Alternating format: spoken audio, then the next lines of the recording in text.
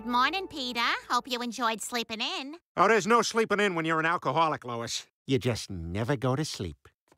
Happy Valentine's Day, honey. You actually remembered it was Valentine's Day. Of course I did.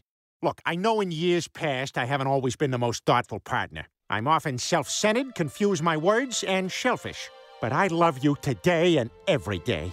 You are our family's rock, which is why I got you this.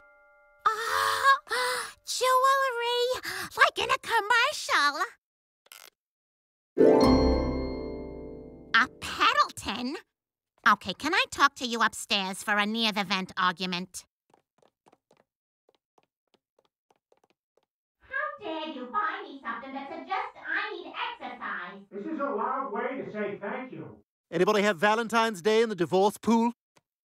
That would be Meg. Boom, boom, boom. Picked a holiday. Smart. She's smart. I just thought you'd like it. I saw it on the Today Show. Second hour with Hoda and Savannah, a third hour with the nonsense people. Second hour. Where is it?